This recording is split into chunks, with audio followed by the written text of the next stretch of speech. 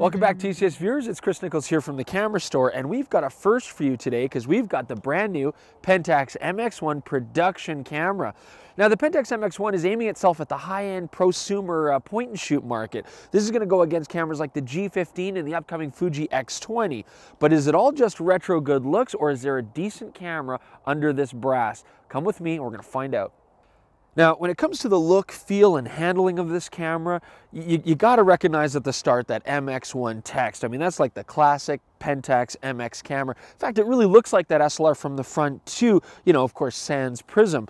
But all in all, as a point and shoot, it's a fairly chunky brick. I will say this too, it's got a lot of weight to it. Now, some people are gonna love that, some people aren't. I mean, it is definitely heavier than something like a G15. And that's in part because of the brass top and bottom this is a novel feature. I mean, I don't think it's going to make the camera any more rugged or anything, but Pentax is all over the fact that as you use this camera and scratch it, you're going to get beautiful brass showing, just like those classic cameras. You know, we've got really cute features here, like a little pop-up flash, nice and protected, although I do wish it would bounce. I wish I could point it up in the air. That's, that's too bad.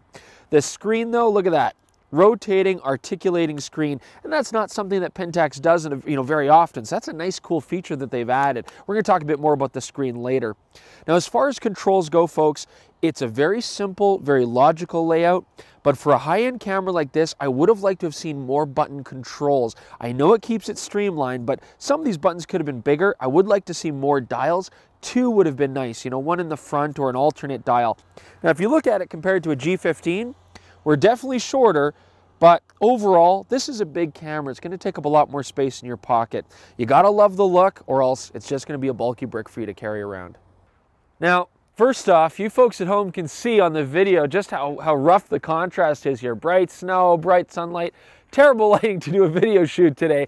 But you know, it's also tough for little cameras like this. These 12 megapixel 1 over 1.7 sensors don't get naturally a ton of dynamic range. However, the MX1 does have a cool HDR mode, and I'm going to turn it on right now. Just a flick of the dial. And what's cool about this is we actually have three strength settings. Now, you take a photo, it does it very quickly. It's going to process. It's pretty quick and we get our HDR shot. And it does look like it's compiling multiple photographs together.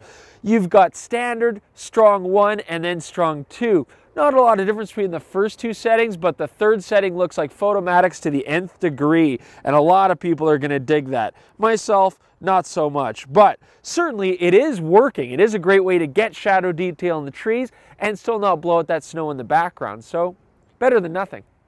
I'm going to take a movie here because we got little midges hatching all around the ice here and flying around. Now, as far as video goes on the MX-1, it's actually pretty impressive. We're getting 720 at 60 frame per second. We're getting 30 frame per second at 1080. Stereo sound, of course. And uh, it's, it's nice to have, but if you're looking for manual exposure, don't look here. Still, quality's nice, and we can get some nice little videos here. Here's something very cool about the camera, something I actually really like. Doing macro shots here on these cameras is great because of course we've got fairly small sensors. But this camera, you don't have to focus uh, and, and go into a macro mode when you want to get close up. It just goes right into it. And for the ultimate macro, I can go to one centimeter macro, literally get right in here, just like that. And I'm getting full res uh, you know, no sort of digital cropping. It's beautiful. This camera does beautiful macros. Focuses really quick when you're doing the macro too. You know, the camera metering is nice. The screen updates uh, what exposure you get, and the exposure comp dial there is very, very handy. So all in all, very easy and comfortable to change your settings on this camera on the fly. All right, so let's go through our standard high ISO performance.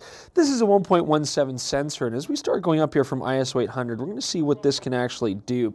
Now, here you're going to notice noise is actually very, very well controlled on the Pentax. As we go higher here, I'm noticing a trend. The Pentax does stay very sharp, but it does seem to introduce a lot of chromatic noise. Now, Remember, that's not such a big deal. I know it looks ugly when you see it here, all this purple and green, but the fact is chromatic noise is a lot easier to get rid of in post. It's a lot easier than, uh, than soft images to take care of.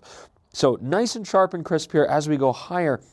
Now, the 1.17 sensor here, 12 megapixels, is very comparable to Canon's G15. So let's just take a look at a couple shots and see how they compare.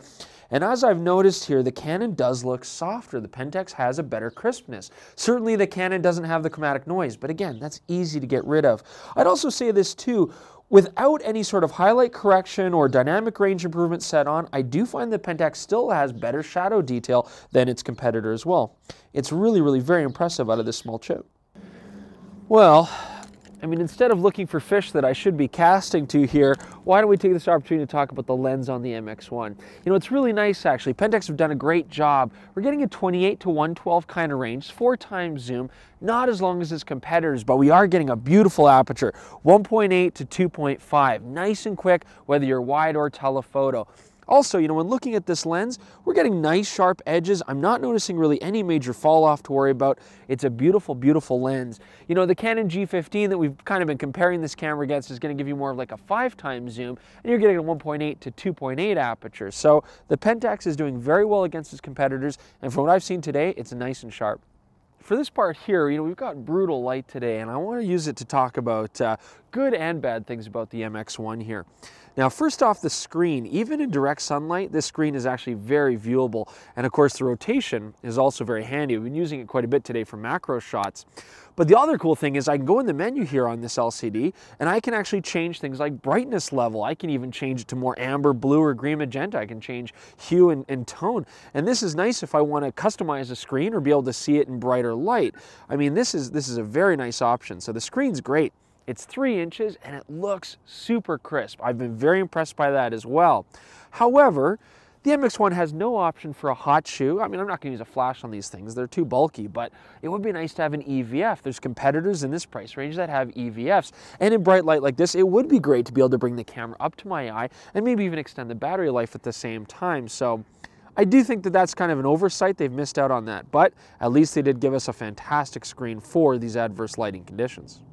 I want to take you guys on a little tour of the camera here because the MX-1 has been very thoughtfully designed and I love that we've got customizable features that you're going to want but that aren't too technically complex. Things like being able to change your ISO sensitivity to third stop increments. That's very rare to find on a camera of this caliber. Electronic shutter on and off. Being able to adjust your white balance for tungsten situations so if you've got a bit of mixed lighting you can get a more subtle effect or a stronger correction. Uh, things like the camera remembering where you were when you turn it on and take you to the last menu that you were were at. Be able to set this camera for Eye-Fi cards. Be able to change the screen and LCD colors. You know, it's, it's just the right amount of complexity. Pentax do have a habit of making a lot of their cameras too technical. You gotta be a photo nerd to really figure them out. This is a great mix of, of good thoughtful features, but still simplistic, intuitive design. Overall, the camera is a pleasure to use that way. Now, when it comes to autofocus, we've got great controls as well. I push one button on the back and I can instantly move my camera focus anywhere I want, nice and quick. And I will say this, folks, Pentax got the focus speed right. This camera is very responsive, it's quick to the target, it's accurate, you're not sitting there waiting, but you get great quick autofocusing when you do need it. All right guys, so here's my final word on the Pentax MX-1. You know, overall it's been a really fun camera to use, it's been intuitive, and as you use the controls you find that it's actually very, very well designed. I also like the retro design. I know Pentax is going on the same bandwagon as everybody else, and that's a good thing. I like that they're going in the right direction whatever you think about the Pentax K-01, how good a camera it was, it was hideous and it was gross and nobody bought the thing. I think people will pick this camera up. Now the MX-1 is, is a near perfect camera. It has some things I wish that we, we could have incorporated here. Things like a hot shoe would have still been nice and an EVF option would have been even nicer. And this front lens ring is just begging for a manual control dial. I don't know why they didn't do that. A manual focus ring would have made this camera excellent. But still, you're getting great image quality, you're getting a great screen, you're getting great features and customizability, and you know, this retro design, it's, it's endearing. I think a camera like this now is not an also-ran, folks. The MX-1 is a very fierce competitor in this market. I would take a hard, long look at this and uh, maybe find one in your camera bag.